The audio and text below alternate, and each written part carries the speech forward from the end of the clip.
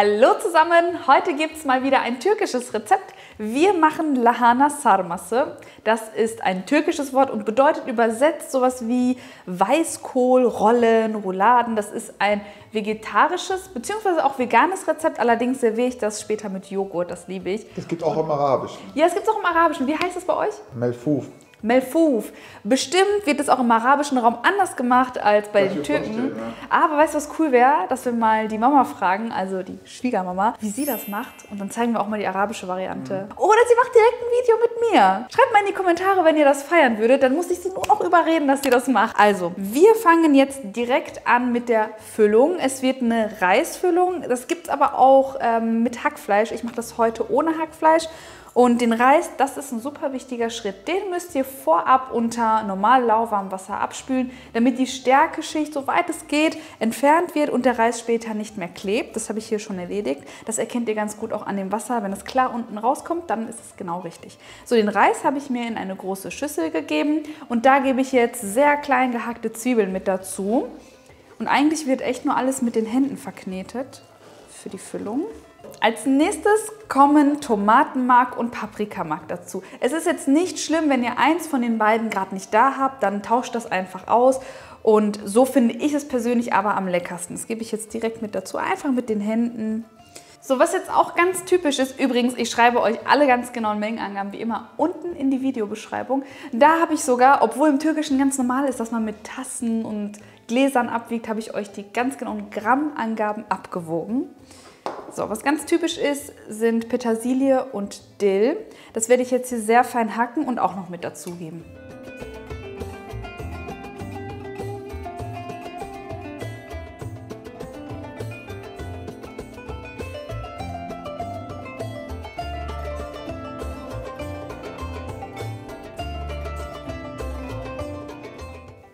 Gewürzen geben wir Salz dazu, Pfeffer, wer mag etwas Sumak, Außerdem ein bisschen Pulbibel, Vorsicht, das ist scharf. Und ganz, ganz, ganz wichtig, Kreuzkümmel. Warum brauchen wir Kreuzkümmel? Das möchte ich noch mal ganz kurz erklären, weil Weißkohl ist ja, wie wir eigentlich alle schon mal so gehört haben, aufblähend und Kreuzkümmel wirkt dann eben entgegen. Daher darauf bitte nicht verzichten. Beim Sumak muss ich sagen, macht das gerne mal rein, probiert das aus. Es gibt noch so eine richtig, richtig schöne Säure. Und jetzt kommt eigentlich nur noch... Ja. Andeutung. Ja. Bei Hummus macht man das auch. Ja, das stimmt. Bei Hummus macht man das auch, bei Kichererbsen, genau.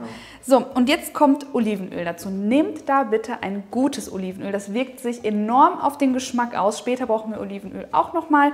Und das wird ähm, einfach auch, ich glaube, ich will mich jetzt nicht vertun, aber ich glaube, bei der albanischen Variante von diesem Gericht, mit Sicherheit sind das auch wieder andere Gewürze, macht man auch ganz viel Olivenöl rein. Und das, finde ich, macht es immer so ein bisschen aus. Also Olivenöl mit dazugeben und nicht geizen, aber ich schreibe euch auch die ganz genauen Grammangaben unten rein. Und dann einfach mit den sauberen Händen richtig schön durchkneten. Türkisches Gericht mit äh, italienischem Olivenöl. Ja, das ist jetzt unser italienisches Olivenöl. Das palästinensische ist aktuell leider ausverkauft, aber ich werde euch alle Gewürze und das Öl etc. auch unten in die Videobeschreibung verlinken. Wie machst du die ganze Flasche leer oder was? So, jetzt ja, Das ist krass. das, ist so viel. ja, das vertrau Okay, mir. Okay. Das sieht nur so viel aus.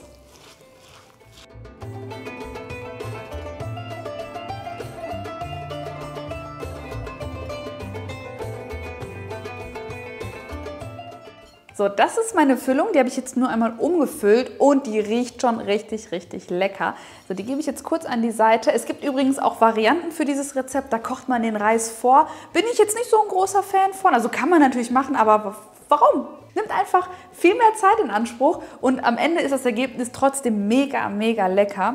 So, und jetzt brauchen wir einen Weißkohl. Da müssen wir den harten Strunk einmal entfernen und anschließend werden wir das für ein paar Sekunden in kochendes Wasser geben, damit sie weich werden, aber das zeige ich euch nochmal.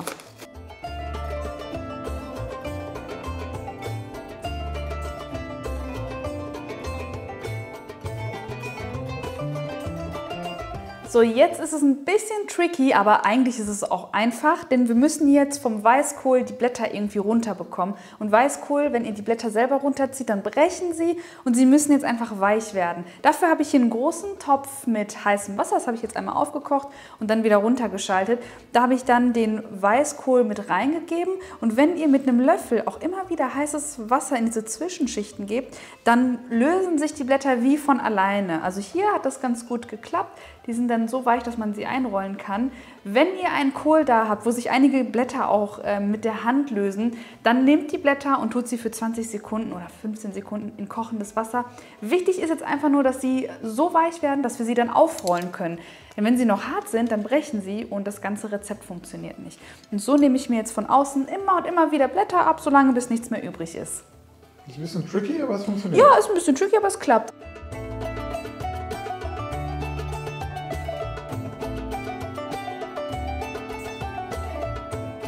Jetzt geht es ans Befüllen und das mache ich, indem ich hier einfach mit einem Teigrädchen den harten Strunk erstmal entferne. Pizzarädchen.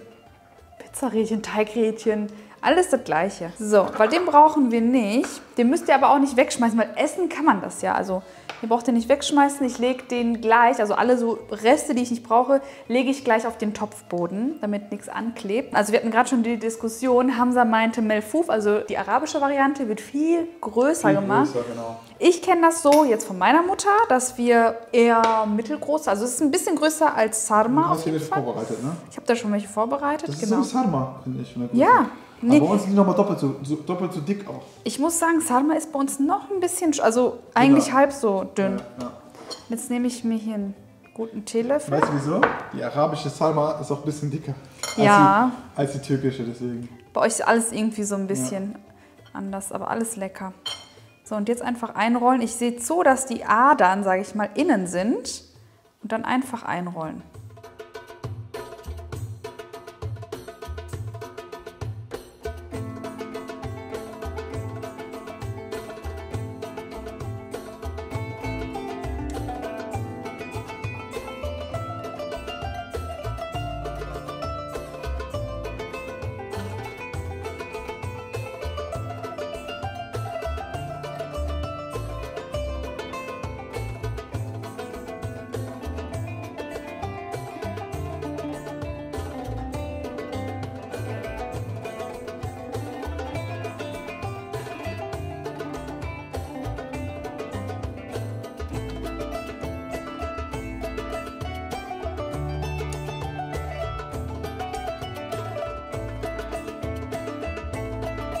So, jetzt habe ich alle Weißkohlblätter aufgerollt und nehme mir einen Topf. Ich habe jetzt hier einen relativ kleinen Topf. Das reicht übrigens so als Beilage für vier Portionen oder als Hauptspeise für zwei bis drei Portionen, würde ich sagen. Und jetzt nehme ich mir so die überschüssigen Blätter, die ich jetzt gerade einfach nicht gebrauchen konnte, weil sie zu klein sind oder zu hart etc. Gebe die jetzt auf den äh, Boden des Topfes. Ich bin mir sicher, dass jetzt nichts anbrennen wird, aber wenn man mal doch vergisst reinzugucken, kann das sein, dass die, ähm, die Kohlblätter unten anpappen und das könnte man jetzt ganz einfach eben vermeiden. Und dann schichten wir ganz einfach.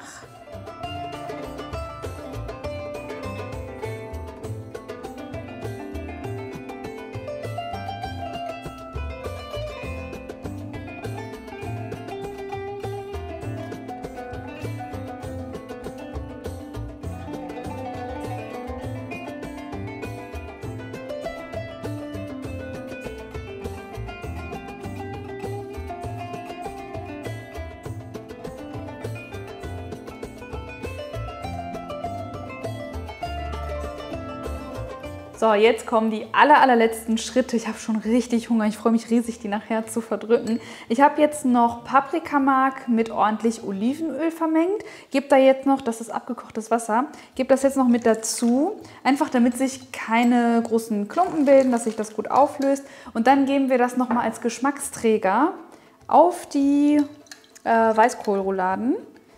So. Und da gebe ich jetzt so viel Wasser dazu, bis es ungefähr ein Zentimeter über den Rouladen steht.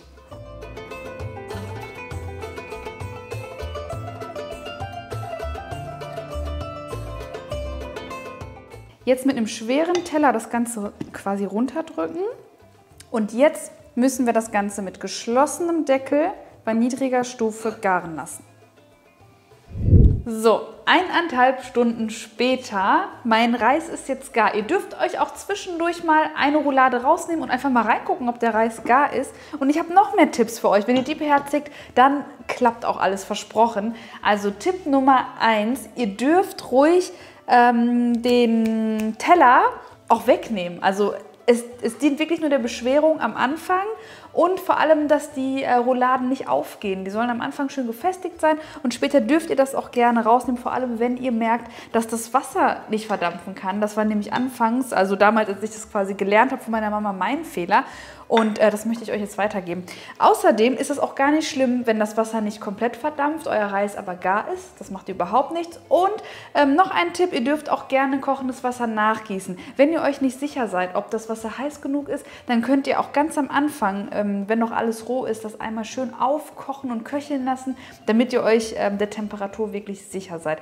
Danach reicht wirklich Garen bei einer niedrigen Temperatur. Ich muss sagen, ich habe neun Stufen am Herd und ich bin die ganze Zeit geswitcht zwischen 4 und 5. Und jetzt ist das Essen serviert. Und ihr dürft auch äh, das Ganze auch ruhig noch mal eine halbe Stunde stehen lassen. Dann sitzt alles noch mal schön. Und ähm, dann könnt ihr das Ganze mit Joghurt servieren. Also ich finde sie wirklich, ich habe gerade schon einen probiert, die sind perfekt geworden. Und für den Joghurt verrühre ich ganz einfach Joghurt mit äh, Knoblauch und Salz. Das war's.